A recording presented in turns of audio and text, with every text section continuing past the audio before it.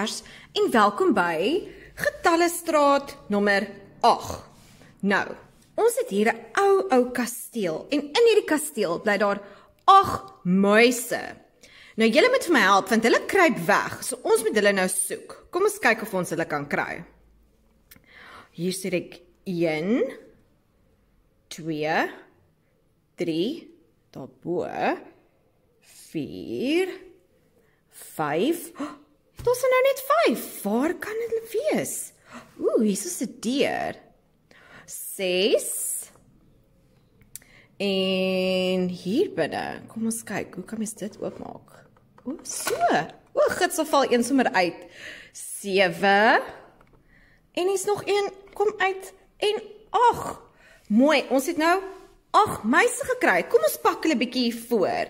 Kom ons skuif net af, sodat hulle mooi kan sien. Goed, soos dit gesê ons het 1 2 3 4 5 6 7 en 8. Ons het ons het 8 muise. Kom ons skuif hulle net so bietjie kant toe. Daar sê.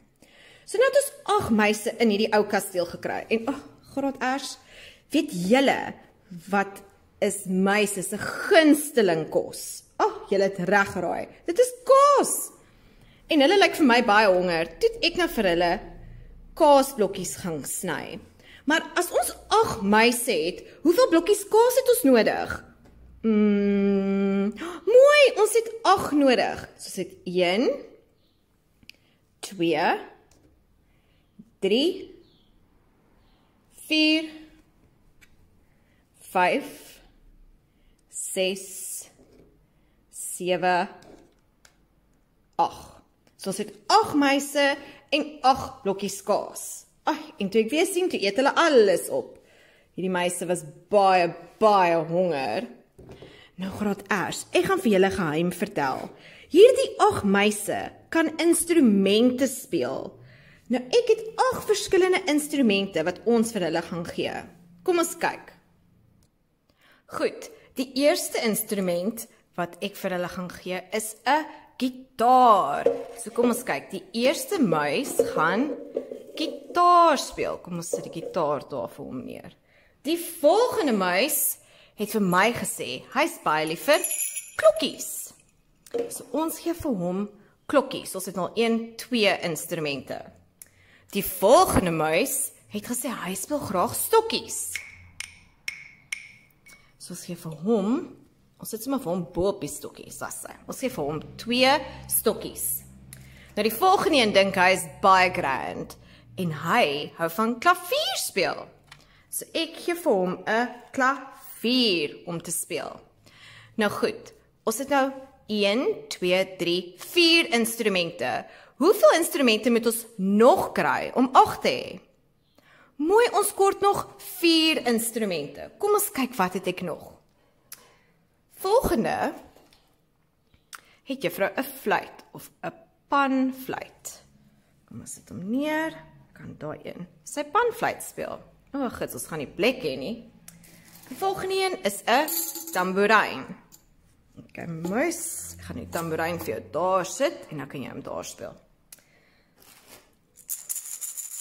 'n Maraca.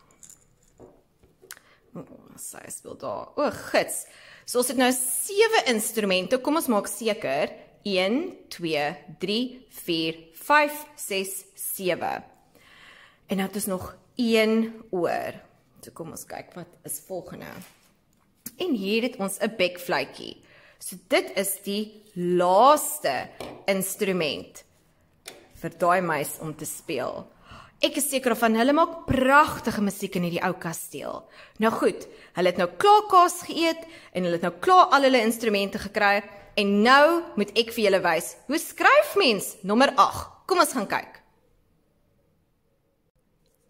Goed. Nou nommer 8 is baie belangrik Hoe om agter maak is jy maak 'n s klankie. So jy maak 'n normale s klankie. En dan as jy klaar is met jou klankie, jy tel nie jou koutjie op nie, gaan jy van die een punt tot by die ander punt om hom toe te maak. Nou so. Weer maak ons en dan maak ons hom net toe. Nog een toe. Dan het ons die nommer 8.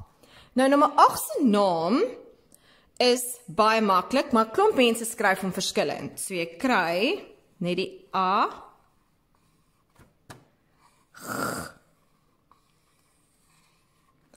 Ag. Nou dit is hoe ons dit by ons skool skryf. Nou daar's ook ander mense wat skryf A Dan maak hulle dit so. Soos 8 8 net sonder die te of 8. So jy kan kies hoe jy dit wil skryf. Albei maniere is reg, maar soos ek sê by juffrou se skool skryf ons dit net so, net 8. OK. Goed, kom ons maak hierdie 8 nou met klei. OK.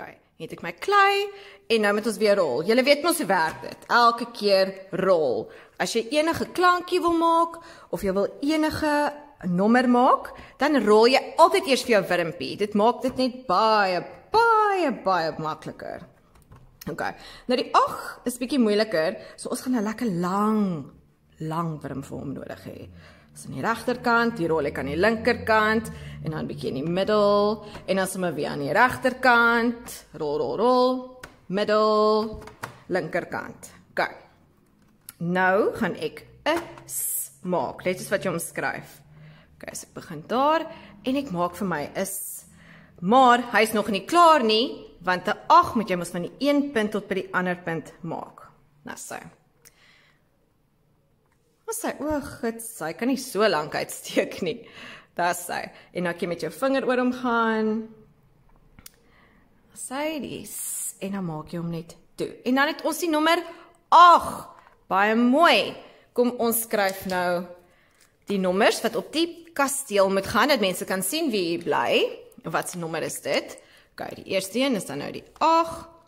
Swys rond, rond en maak hom toe. So as jy 8 en nou 8 se naam.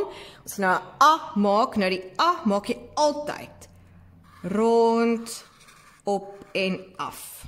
Altyd. En nou die G is dieselfde as die A, maar hy skep net water. So hy's rond op en af en dan skep hy onder water. En dan as jy by jou skool 'n te bysit, dan kan jy, maar as ek sê by juffrou se skool is dit net so hoe ons omskryf. OK.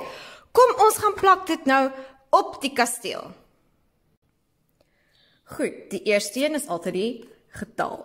Kom ons sit hom sommer in die middel van die kasteel. Soos jy kan sien, dit is kasteel nommer 8 in Getalle straat.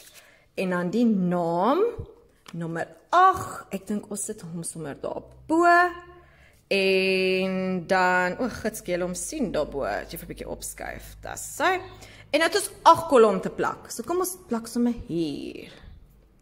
1 tel saam met juffrou. 2 3 4 5 6 7 en nou gaan sommer op die kom en nommer 8.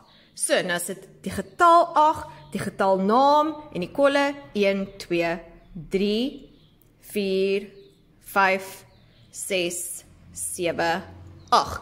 En goed, kom ons sit nou die meise terug waar ons hulle gekry het. Kan julle onthou hoeveel was bo? Mm, twee dink ek. So een was daar. Een. O, oh, gits nog julle weer nie sien nie. Asse. 1 2 en daar was twee hier binne. Dis 3 4 Dis een hier onder. 5 6 7 en 8. Dis hulle lyk like vir my nou baie gelukkig in hulle huis. Nou graad eers As hierdie nou nommer 8 is, wat se getal staan voor nommer 8 in die ry? As ons tel, wat se getal tel jy voordat jy nommer 8 sê? Jy tel nommer 7.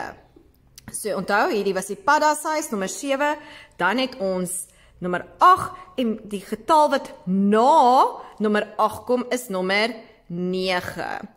En daar's nou 'n ander dierefamilie wat in nommer 9 bly. So ons sal nog vir hulle volgende keer gaan kuier. Nou goed, Graad Ers, baie dankie dat jy vir my gehelp het dat ons kan sien hierdie is getalle straat nommer 8. Ek hoop julle het geniet. Totsiens.